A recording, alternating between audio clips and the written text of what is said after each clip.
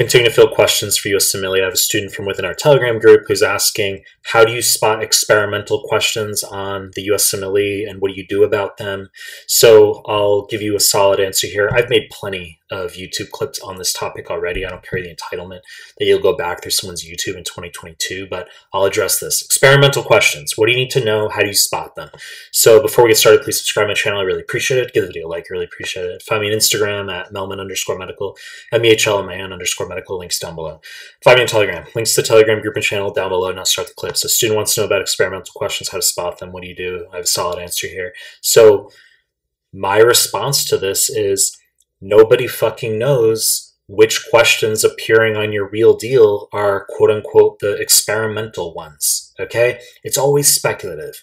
Students tend to default into this notion that for whatever fucking reason, the experimental questions are going to be the strange molecular type ones or experiment research type ones. Nobody fucking knows.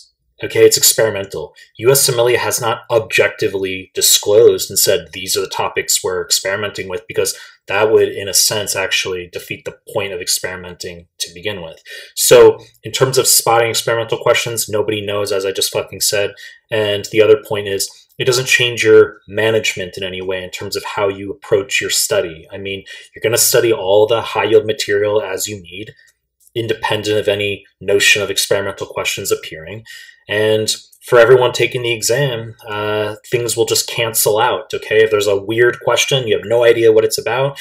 Well, other people are going to feel the same way. All right, so uh, the consolidated point here is you just need to go through UWorld, go through the NBME exams as I've harped on, go through my high yield PDFs, go through my audio Q bank here on the YouTube. I made tons of clips here on my YouTube on the on the exam guidance playlist, and don't fucking worry about experimental questions. You know the deal. To make more content. If you like my stuff, subscribe my channel. And I appreciate your time. That's it.